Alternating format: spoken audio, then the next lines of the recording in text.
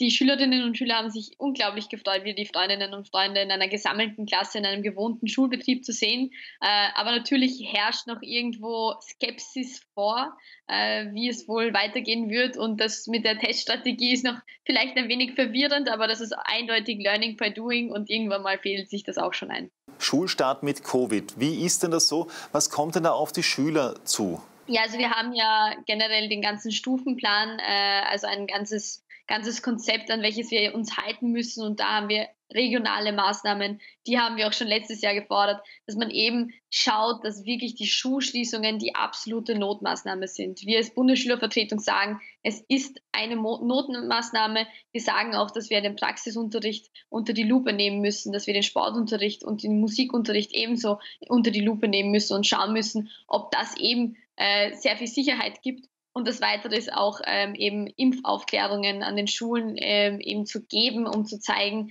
ja, ähm, wie viel eben die Impfung bringt und damit sich eben mehr Jugendliche impfen können.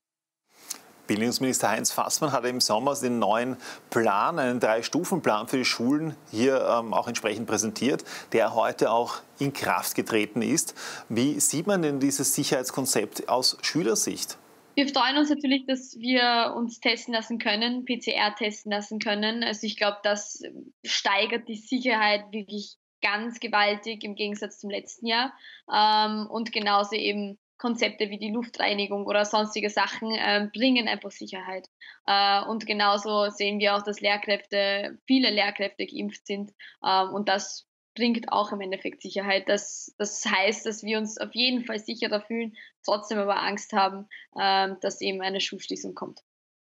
Wenn man sich die Impfzahlen ansieht, dann sieht man das vor allen Dingen natürlich gerade bei der jüngeren Bevölkerung, also sprich 12- bis 17-Jährige bei den Schülern, dass da die Impfquote noch relativ gering ist. Ähm, warum ist denn das so? Also ist es so, dass eben einerseits vielleicht das das Thema nicht so ein großes ist oder ist es, weil man ähm, vielleicht noch zuwarten möchte oder woran liegt es denn? Oder, oder fühlt man sich auch nicht abgeholt von der Politik?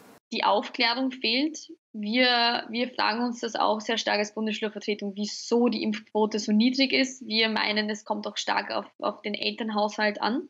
Ähm, und weiter sind es die Medien, ähm, also ich glaube einfach, dass wir die meisten Informationen aus den Medien holen, obwohl eine sichere Quelle die Schule wäre. Ähm, und deshalb fordern wir als BSV, dass in den ersten zwei Schulwochen alle Schulärztinnen und Schulärzte durch jede Klasse gehen und die Impfung eben erklären. Und das Zweite auch, äh, dass man einen verpflichtenden Elternabend an den Schulen durchführt, wo eben die Impfung nochmals erklärt wird und wie viel Sicherheit es an dem einzelnen Schulstandort gibt, ähm, um einfach direkt an die Schülerinnen und Schüler zu kommen und nicht äh, sich auf die Medien zu verlassen und dass sie von dort dann eben die Informationen haben. Das klingt nach einem sehr vernünftigen Vorschlag. Kommt der auch an oder wird der auch als solches ähm, entsprechend wahrgenommen? Ja, hoffentlich. Wir fordern ihn seit heute mit dem Schulstart und hoffen, dass die BSV wieder mal gehört wird. Aber wir äh, glauben, dass es Autonomie ist äh, an den Schulen und dass die Schulen diesen Vorschlag hoffentlich aufnehmen und dann eben umsetzen. Was sind denn aktuell die Probleme der Schüler mit den aktuellen Regeln, also mit den Corona-Regeln?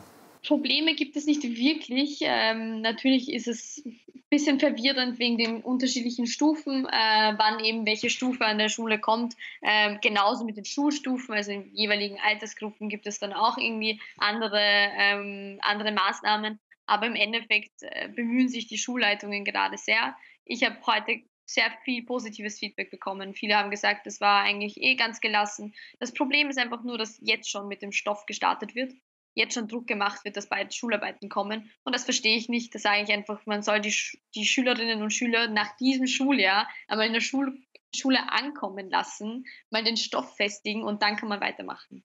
Also das ist gerade einfach äh, eher ein Problem und auch die mentale Gesundheit. Also die psychische Gesundheit wird gerade gar nicht angesprochen, obwohl gerade sehr viele Schülerinnen und Schüler auf der Strecke bleiben wegen dem. Und ich finde, man sollte das auch absolut zu einem Thema machen. Ähm, es war eben so, bei mir zum Beispiel, ich war selber mit 16 ein Jahr lang in den USA, in der Highschool, habe dort, wie ich zurückgekommen bin, musste ich erst wieder lernen, wie man eigentlich wirklich lernt, weil ich drüben nicht wirklich so viel es gewohnt war, auch zu Hause Stoff zu lernen. Geht es auch jetzt im Moment gerade vielleicht auch vielen Schülerinnen und Schülern so, dass man sich erst wieder gewöhnen muss an dieses normale Schulsystem, an den normalen Schulbetrieb, weil ja doch das letzte Jahr sehr, sehr anders war als ein normales Schuljahr?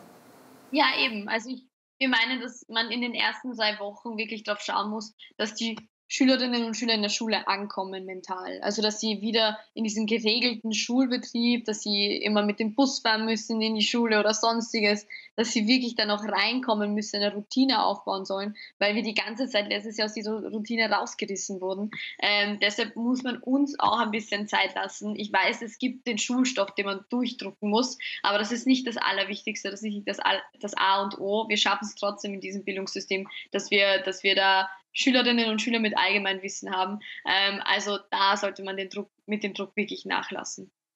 Wir haben sehr viel gehört auch davon, dass eben gerade Schülerinnen und Schüler im letzten Jahr mit diesem Homeschooling sehr viel auch unter psychologischen Folgen gelitten haben oder dass es auch psychologische Probleme gegeben hat. Ähm, wie ist denn das so, also auch aus Erfahrung in der Schule selbst? Was, für, und was passiert denn da zum Beispiel? Wie macht sich das bemerkbar?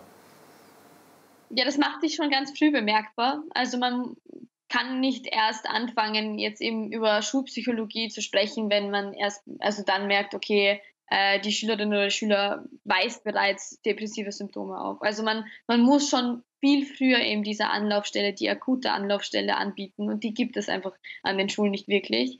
Ähm, und wir als, als BSV ähm, arbeiten gerade mit dem österreichischen Bundesverband für Psychotherapie zusammen, um zu schauen, dass eben Schulpsychotherapeutinnen und Therapeuten an die Schulen kommen, weil sie gerade unbedingt notwendig sind, weil wir immer mehr merken, wie müde die Schülerinnen und Schüler sind, wie wenig Lust sie auf, auf das auf den, den Schulstart teilweise haben. Ähm, und da kriege ich sehr viele Nachrichten auch dazu, dass sie einfach die Energie nicht, nicht dazu haben, jetzt so ein Schuljahr, wieder ein Corona-Schuljahr ähm, durchzudrücken. Und deshalb sagen wir, dass das einer der wichtigsten Sachen eigentlich in der Krise ist, eben psychologische Unterstützung. Und es wird eigentlich überhaupt nicht angesprochen. Wir sind die Einzigen, die gerade eben das in den Mittelpunkt stellen. Wenn man jetzt sagt zum Beispiel, dass eben Schüler und Schülerinnen Nachrichten schreiben, dass sie das schwer durchdrücken können. Ähm, was, für, was kommt denn da konkret oder warum? Was sind denn da so die Sachen, die eben bei den Schülerinnen und Schülern, die psychologische Probleme haben, was kommt denn da konkret von denen in den Nachrichten? Gibt es auch Beispiele zum Beispiel? Also das, das größte Problem sind die Schularbeiten ähm, oder generell eben der Notendruck oder auch Zukunftsängste. Also ähm, wir, wir sind gerade in einer Krise, die irgendwo unsere Jugendzeit eingeschränkt hat. Und wir sind in einer weiteren Krise, das ist die Umweltkrise, die von der anderen Seite irgendwie unsere Zeit einschränkt. Also wir sind gerade als Gener Generation Z ähm, eben die Generation, die sich sehr eingeschränkt fühlt und weiß aber, dass wir nicht diejenigen sind, die das dann trotzdem entscheiden. Ähm, also wir versuchen einfach klarzumachen, dass wir von der Politik auf jeden Fall mehr gehört werden sollen, äh, dass wir als Jugend mehr in den Mittelpunkt gestellt werden müssen ähm, und viel mehr entscheiden wollen über unsere Zukunft, da schon einige einfach Zukunftsängste haben. Sie wissen überhaupt nicht, was sie studieren wollen oder in welchem Beruf sie tätig sind, weil sie sich gerade einfach darauf konzentrieren, überhaupt die Schule zu schaffen.